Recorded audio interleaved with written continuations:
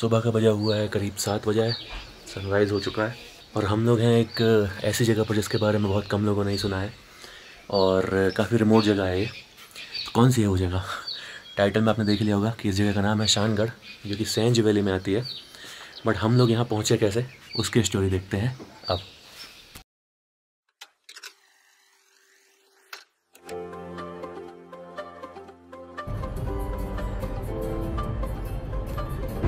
ये हमारे workaholic travel partners Pashu and Jyoti. लगी पड़ी है लगी पड़ी है।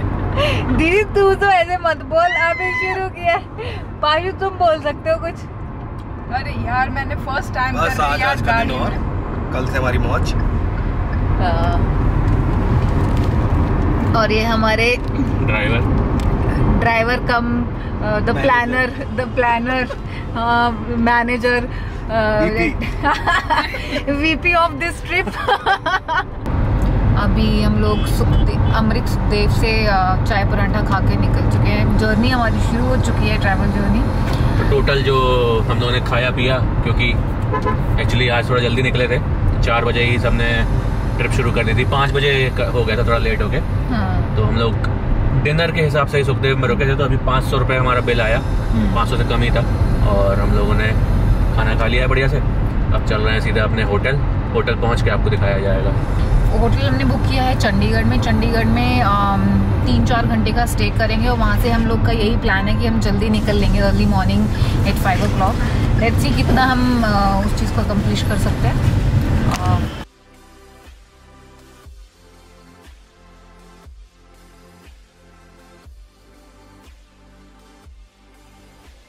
फिर हम रात 11 बजे पहुँच गए चंडीगढ़ के अपने होटल होटल एमेरल्ड में। ये था हमारा फैमिली रूम, जिसमें चार लोग रुक सकते थे, और विंडो से ही दर्शन हो रहे थे हमें हमारी कार के।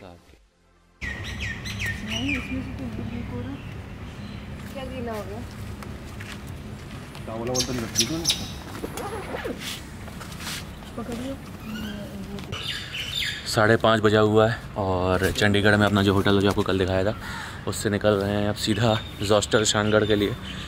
तो करीब सात, साढ़े सात घंटे का रास्ता दिखा रहा है, थोड़ा ज़्यादा ही टाइम लगेगा। पहाड़ है वैसे भी, मंडी का जाम, उसी का थोड़ा बस टेंशन है मुझे। बाकी तो सारा स्मूथ रहेगा, पिछली बार भी ऐसा ही था। तो जो टोटल जैसा आपको कल बताया था कि कल खाने में जो खर्च हुआ, वो हम लोग का टोटल पाँच सौ रुपये था सुखदेव में। उसके बाद फिर अभी यहाँ होटल का जो टोटल कॉस्ट था, वो था ट्वेंटी नाइन हंड्रेड का ये वाला रूम था जो आपको दिखाया। फैमिली रूम था, चार लोगों का। बढ़िया होटल है, होटल एमराल्ड है चंडीगढ़ में और थ्री स्टार होटल है अच्छा था। मेन चीज़ तो पार्किंग बड़ी सही थी, ये पूरा पार्किंग स्पॉट है इनका। अब हम लोग यहाँ से निकल रहे हैं और चलते हैं आगे, देखते हैं क्या देखने मिलता है। आज डेट जो है वो आपको बता दूँ थर्सडे हम लोग निकले थे छब्बीस तारीख को, आज सत्ताईस तारीख है। सत्ताईस तारीख को साढ़े पाँच बजे हम यहाँ से शुरू कर रहे हैं चंडीगढ़ से, शानगढ़ के लिए। लेट्स गो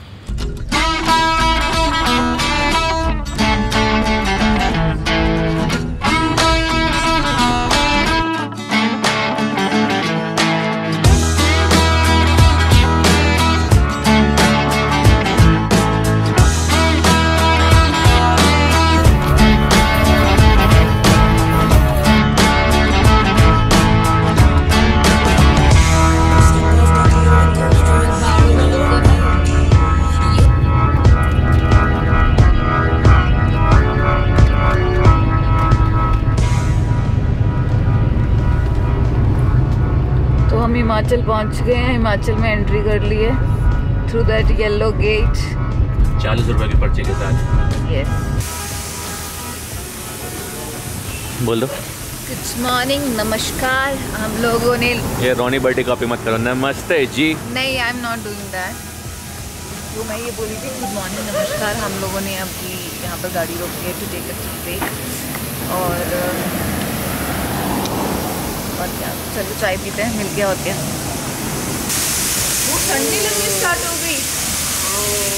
लोग यहाँ पर अब करीब हम लोगों ने पैंतीस या पैंतीस मिनट के आसपास यहाँ पर लगाया है। और मैगी पराठा और चाय। चारों लोगों ने ली है टोटल चार सौ का बिल। अब यहाँ से निकलते हैं। कोशिश तो ये करेंगे कि अब रुके ना कहीं खाने पीने के लिए। अंदर जो चखना वखना रखा है उस सबसे काम चल जाए।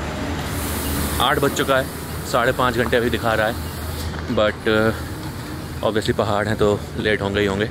तो साढ़े पाँच घंटे का मतलब है कि डेढ़ बजे बट मैं मान के चल रहा हूँ कि तीन साढ़े तीन बजे तक शायद पहुँच जाएँगे। बाकी आपको अपडेट मिलते रहेंगे रास्ते में। लग तो रहा है कि ये गांजा ही है। बताओ भाई लोग क्या है ये? पता नहीं ये गांजा है या नहीं है। लीव्स तो वैसे ही लग रहे हैं क्योंकि काफ़ी वैरायटीज होती है ना। हमारे हमारे एक्सपर्ट ने अपने रिव्यूज़ दे दिए। कि स्मेल तो नहीं आप है तो पक्का गांजा नहीं है ये। नकली। इस पूरे रास्ते में डिले का सबसे बड़ा रीज़न ये बड़े बड़े ट्रक्स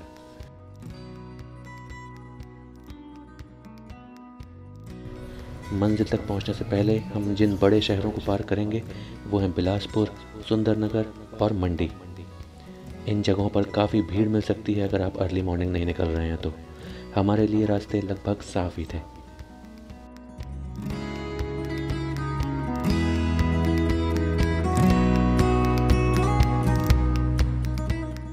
अरे पीछे भी लाल दिखा रहा है हम तो चले आए। पूरा लाल दिखा रहा है और फिर एंड में इस तरह के छोटे मोटे जाम मिलेंगे काफ़ी सारे कंस्ट्रक्शंस की वजह से।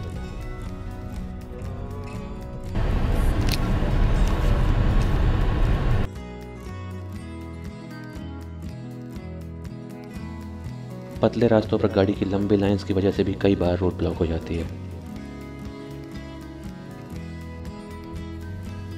फिर औध टनल पहुँचने से पहले मिलेंगी कुछ हैवी कंस्ट्रक्शन साइट्स जहाँ पर मिलेगा काफ़ी लंबा जाम।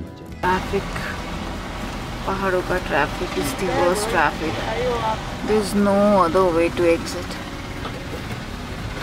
एक ही रास्ते से आपको जाना है, आना है। हाँ जी तो बताइए। क्या बताएँ टाइम पर पहुँचने वाले थे। काफ़ी काफी- ट्रैफ़िक मिल गया। काफ़ी लंबा ट्रैफ़िक मतलब हम लोग घूम के उस तरफ़ से देखा बहुत दूर तक का है। और हिल भी नहीं रही है गाड़ियाँ। देखो क्या होता है। फिर इस मंदिर को पार करते हुए हम पहुँच गए और टनल की एंट्री पे जहाँ से हम सीधा रास्ता पकड़ेंगे जो हमें लेके जाएगा Great Himalayan National Park GHNP के अंदर जहाँ से एंट्री है सेंज और तीर्थन वैली की। और 95 परसेंट ट्रैफ़िक से हमें मिल जाएगी मुक्ति, क्योंकि वो सब और टनल पार करके चले जाएँगे मनाली और कुल्लू की तरफ़। यहाँ पर लारजी नाम की जगह पर दो नदियाँ मिलती हैं, तीर्थन और सेंज, और जीएचएनपी में एंटर करते ही आप ट्रैफ़िक के साथ मुक्ति पा जाओगे पोल्यूशन से भी। और आप अब कार की विंडो ओपन करके पहाड़ों को एंजॉय कर सकते हो।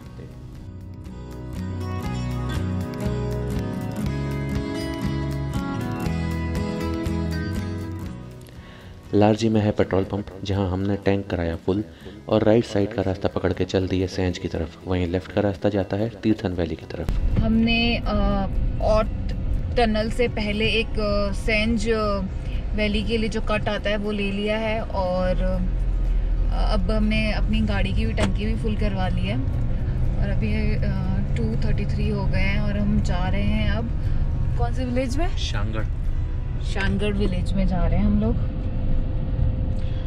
काफ़ी एक घंटे का रास्ता और दिखा रहा है अभी। हाँ एक घंटे के अंदर अंदर हम लोग पहुँच जाएँगे।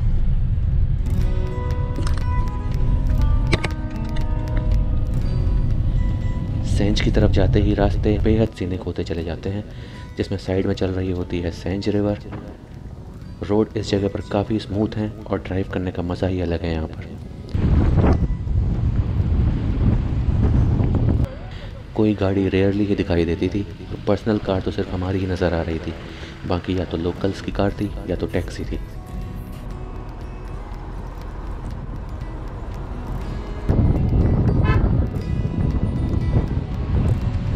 रास्ते में हम पार कर रहे हैं सियुंत डैम और फिर पकड़ लेते हैं बिल्कुल ही जंगल वाला रास्ता, जो कि उतना स्मूथ नहीं है और कई जगहों पर टूटा हुआ है। तो कार के टायर्स बढ़िया होने चाहिए यहाँ चढ़ने के लिए।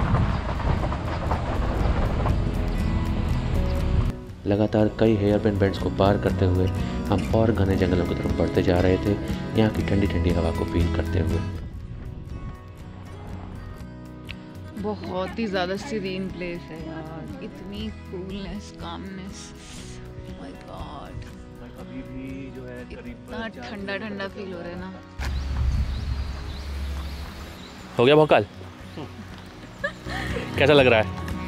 मस्त लग रहा है सुकून मिल रहा है यहाँ पर आके। भाई अभी भी जो है करीब चार किलोमीटर बचा हुआ है रास्ता। पर एक चीज़ मैं लिख के देता हूँ। लिख के दीजिए। क्योंकि आप जब औत टनल छोड़ के जब गाड़ी अपनी दूसरी तरफ़ को सैंज वैली की तरफ़ मोड़ते हो ना उसके बाद जो आपको जन्नत मिलने वाला है रास्ता। मतलब जिस सुकून की तलाश हम लोग शहरों में एक्चुअली करते हैं ना कि एकदम खाली सड़कें, हरियाली होगी और पहाड़ होंगे, हर तरफ़ ठंडी ठंडी हवा होगी। तो वो एक्चुअली आपको यहाँ पर आने के बाद, उस मोड़ पे मुड़ने के बाद फील होता है। और उसमें भी सबसे ज़्यादा तब जब आप करीब ये छः किलोमीटर का जो रास्ता है मतलब सैंज से आगे शांगड़ तक का जो रास्ता है, वो एकदम ही पूरा हरा है।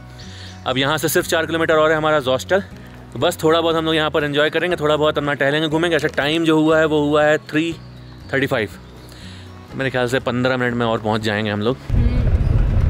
और भाई साहब।